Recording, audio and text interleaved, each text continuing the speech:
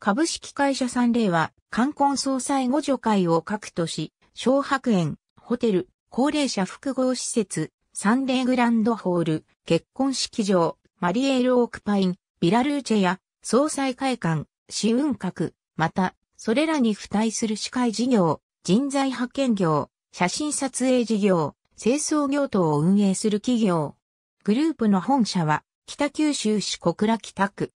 経済産業大臣の許可事業である、冠婚葬祭互助会を中核とし、ホテル業、結婚式場、総裁会館、貸衣装事業を展開。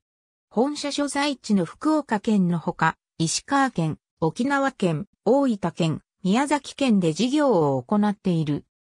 福岡県、沖縄県、大分県、宮崎県、福岡県、北九州市内、その他福岡県内、石川県、沖縄県、大分県、宮崎県福岡県石川県沖縄県大分県、宮崎県福岡県創業者、佐久間進は、小笠原流霊法、旧型的伝送師範であり、小笠原流霊法の思いやりの心、敬いの心、慎みの心という三つの霊を重んじる企業を目指すべく命名。加えて、次の三つの思いが込められているとされる。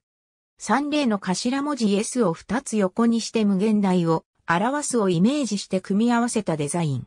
一つは冠婚を象徴する赤色、一つは総裁を象徴する紫色としている。ありがとうございます。